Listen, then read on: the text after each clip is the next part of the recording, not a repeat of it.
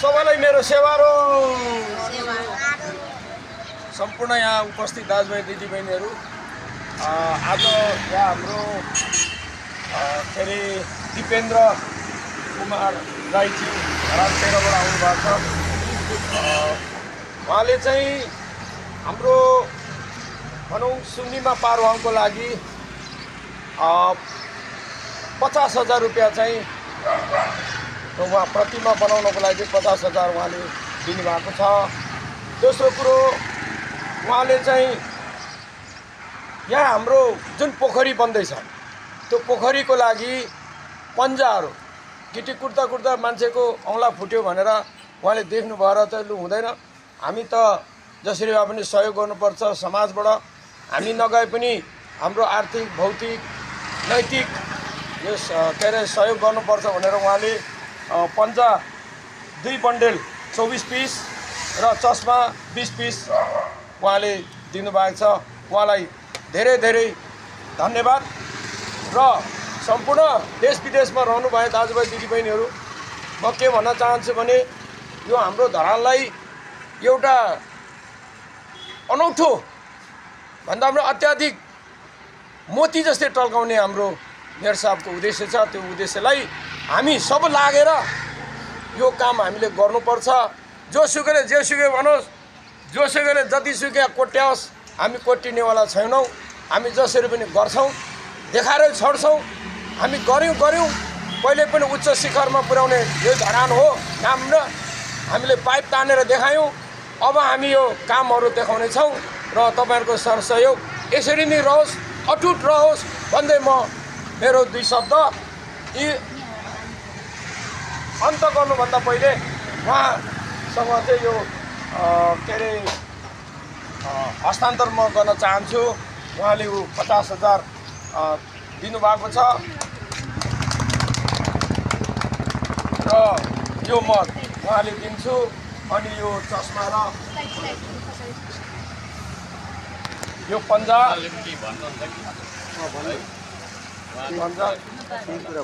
र र यति भन्दै यति भन्दै अ, सम्पूर्ण दाजुभाइ दिदीबहिनीहरूलाई म लगायत सम्पूर्ण हामी यहाँ बसेका सम्पूर्णबाट देश विदेशमा हेर्नु हुनेहरूलाई खरोको साथमा सेवा र। उहाँ हजुरले केही कुरा भन्नुहुन्छ अनि अन्तिममा मेरो साथी अहिले दुई वर्ष भयो। समय धरान एउटा नमुना नै भएछ देश हाम्रो देशको चाहिँ नमुना देशै गइरहेछ। अब हिजो अस्ति त इटो फिराउनु गयौँ त्यो बाटो त हेऱ्यो अब पहिला त्यहाँ खाल्डा र खोल्थ्यो त्यो फुल हरियो सयपत्री फुलहरू अरू बेला कति त्यसको भ्यालु कति छ भन्ने कुरा थाहा छ दुनियाँलाई। त अहिले बाटैभरि फुल फुलिरहेको छ माथि जङ्गलतिर गएँ पहिला बाँदरलाई अलिकति भिडतिर अहिले म्युजिकतिर पुरा बस्ने त अब आराम गर्ने गर्छ त्यस्तो भइसकेको छ त्यति विकास भइरहेछ।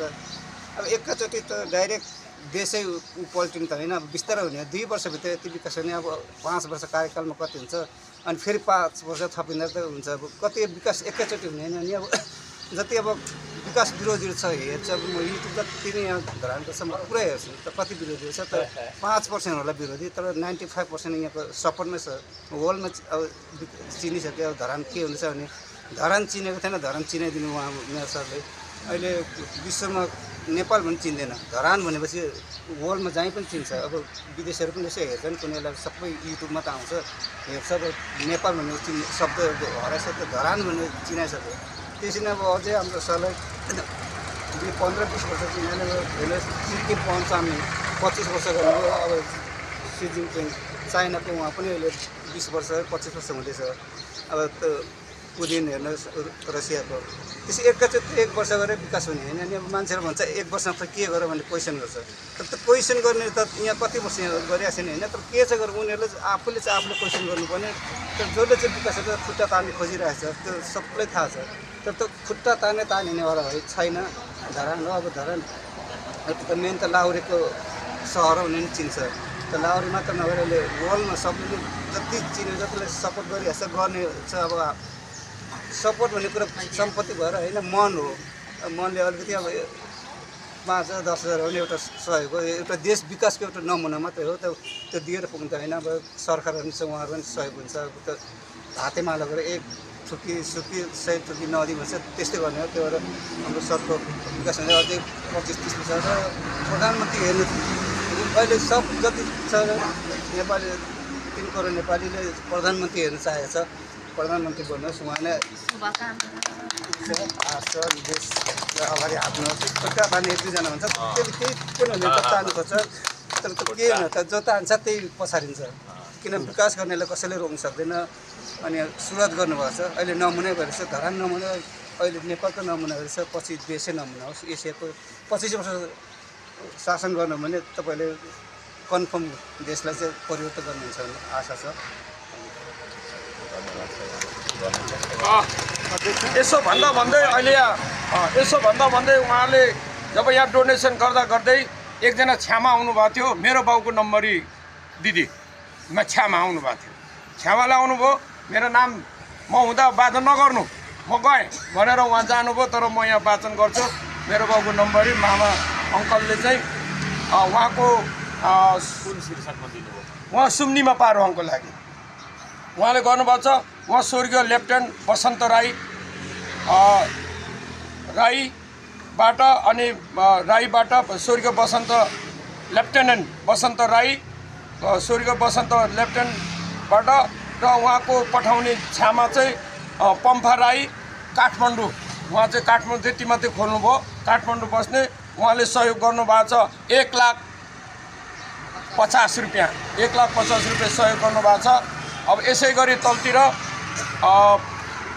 यो धरानको यो ट्याङ्कीको लागि भनेर फेरि एकजना प्रदीप राई धरान सत्रबाट उहाँले दस हजार पाँच सौ गर्नुभएको छ। उहाँ चाहिँ पुरानो गाउँ भोजपुर टेम्पे गाउँमा हो अनि त्यस पछाडि चस्मा बहत्तरवटा गर्नुहुन्छ बालकुमार राई। जम्मा बहत्तरवटा चस्मा दिनुभएको छ उहाँहरूलाई मेरो सलोट। र धेरै धेरै धन्यवाद। र मेरो यो मेरो चाहिँ धरानको माटोले छोएर छ अब मैले भन्नु पऱ्यो। अँ, सरको नाम के भन्नुभयो? दिपेन्द्र कुमार राई। दिपेन्द्र कुमार राई। हुन्छ हुन्छ। दिपेन्द्र कुमार राई। अँ, उहाँले हामीलाई सुन्नीमा पारोहाङको प्रतिमा विशाल प्रतिमा बनाउने अभियानमा सहयोग गर्नुभएको छ। अघि वाचन भइसकेकै कुरा छ। त्यसलाई मैले धेरै दोहोऱ्याइरहन अँ, र तपाईँलाई धेरै धेरै धेरै धन्यवाद छ र अर्को को छ? अर्को को छ? पम्फा राई। पम्फा राईजी है उहाँले पनि हामीलाई सहयोग गर्नुभएको छ। यही चाहिँ नि शून्यमा पारुवाको लागि। र अर्को धरान सत्रबाट के भन्नुभयो? दिपक। अँ, प्र ए, प्रदीप। ठिक छ। प्रदीप राई। ठिक छ। ठिक छ। उहाँहरू सबैजनालाई तिनैजनालाई वा दुईजना चाहिँ आउनु तिनैजनालाई मेरो हार्दिक धन्यवाद छ। हामी गर्दैछौँ काम अब काम गर्दैछौँ होइन? गर्दाखेरि अब धरानमा दुई खालको काम हुन्छ। बजेटको काम र श्रमदानको काम। बजेटको कामको म खासै कुरा गर्दिनँ जस्तै यो बाटोहरू थुप्रो बनाउँदैछौँ हामीले बाटो बनाउँदैछौँ कता कता के के थुप्रै स्कुलहरूदेखि लिएर होइन थुप्रै बनाउँदैछौँ। भवनहरू कहीँ के अरे औद्योगिक ग्रामको कुराहरूदेखि लिएर होइन अब त्यो देखिराख्नु भएको छ। अब देखि देखिराखेको कुराले धेरै भनिराख्ने कुरै भयो र मैले चाहिँ वास्तवमा श्रमदानको चाहिँ अलिकति चर्चा गर्छु के अरे म। किनभने यसमा चाहिँ पब्लिकलाई मैले विकाससँग जोड्न चाहेको सकेको र केही हदसम्म हामी सफल पनि भएका छौँ यो यो कुराले पनि र श्रमदानबाट जे गर्न सकिन्छ त्यो बजेटबाट गर्न सकिँदैन। ढिलो हुन्छ है। त्यस्ता उदाहरण थुप्रै छन् र अहिले हामीले यो शून्यमा र पारवाङको जुन प्रतिमा बनाउने यो त सरकारले बनाउनु सक्दैन नै। चाहँदैन पनि एउटा कुरा। होइन? सरकारको चरित्र अर्कै खालको छ नि त। होइन? अर्कै खालको छ। त्यसले गर्दाखेरि सरकारले मेन कुरा त चाहँदैन अर्को कुरा सक्दैन। त्यसले गर्दाखेरि चाहिँ जनताले बनाओस् भन्ने हो। है? म पनि जनतै हो। होइन? केही वर्ष यसो मेयर भएको छु जनतै हो तर। त्यसले गर्दाखेरि हामी जनताले बनाउने जनताको देश हो। र त्यसमा चाहिँ तपाईँहरू जस्ता मान्छेहरूले सहयोग गर्दाखेरि अत्यन्त खुसी लागेको छ र सबैजना यहाँ यो अभियानमा जोडिनु हुने सबैजनालाई म धेरै धेरै धन्यवाद दिन चाहन्छु। र उहाँलाई यहाँ बोलिदिनु हाम्रो बहिनीहरू सरहरू सबैजनालाई धन्यवाद छ। मिडियाकर्मी साथीहरूलाई पनि धन्यवाद छ। होइन यसलाई चाहिँ व्यापक रूपमा प्रचार गरौँ। म विश्वभर संसारभरिका किराँती तथा गैर किराँती है किराँती त गर्नु परि नै हाल्छ होइन? र गैर किराँती समुदायलाई पनि सकेको सहयोग गर्नुहोस् होइन? ठुल्ठुला काम गर्नुपर्छ हामीले होइन? विदेशमा ठुल्ठुलो चाहिने देख्छौँ हामी नेपालमा चाहिँ केही पनि छैन भन्दै बसिराखेर पनि हुँदैन। त्यस्तै छ। र हामी आँट गर्छौँ। आँट गरिसकेपछि गरी छाड्नुपर्छ त्यसको लागि सबैलाई धन्यवाद छ। सरले हामीलाई सामग्रीहरू पनि सेफ्टी ग्लोभ्स र सेफ्टी ग्लास दुइटै चाहिँ नि हामीलाई दिनुभएको छ। त्यसको लागि पनि धन्यवाद छ। सबैलाई हार्दिक धन्यवाद छ ल। एक शब्द